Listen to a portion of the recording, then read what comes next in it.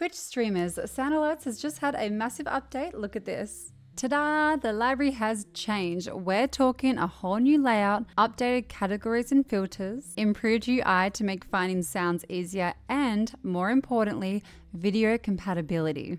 That's right, this library here is all videos for your stream. Before Sound Alerts had a massive library of free sounds for you to use. Now, Sound Alerts also offers a huge library of videos for you to use on your stream too. From your Sound Alerts dashboard, select Library, and click on video here in the filters and this is it. All of these videos are free for you to use on your stream. By the way, although the media library is a community library, at the end of the day, you are responsible for the media that you show on your stream. This filter feature on the left allows you to search for particular lengths, themes or tags such as animals and memes and also the vibe or mood of the videos, such as happy and scared as well as finding a video for a specific Twitch event, such as a new follower or new subscriber. Popular for follows, popular for subs. You can also create your own video by selecting Create. Either drag and drop your video here to upload it straight to Sound Alerts and select a convert mode. So this one would be audio and video because I want the video as well as the audio. Then follow the prompts or convert your Twitch or YouTube clip here. Paste any URL from a Twitch clip, YouTube video, or YouTube short, or a TikTok video to convert the content into a video for your stream. For example, I'm always going to add a Lord of the Rings thing into my stream. I really like the second breakfast line. So copy and paste this URL, pop it here, and select convert.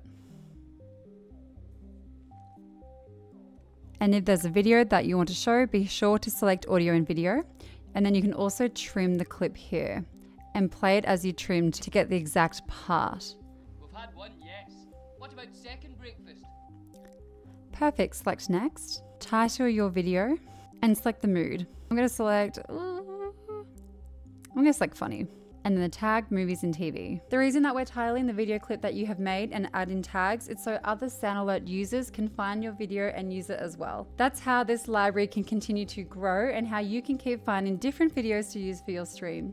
I don't mind if other people use this clip that I've added to the Sound Alerts library on their stream, so I'll keep this unticked. If you have created a particular video alert that you don't want anyone else using, you would click make this file private.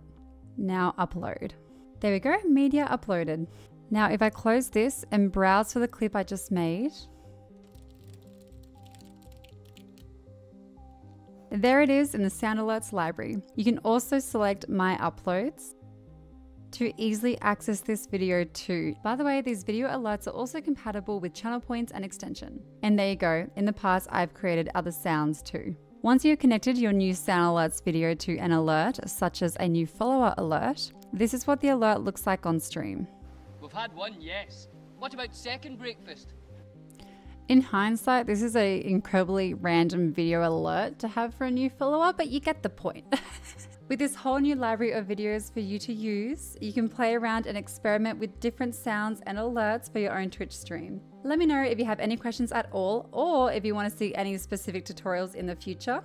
And don't forget to subscribe for more videos.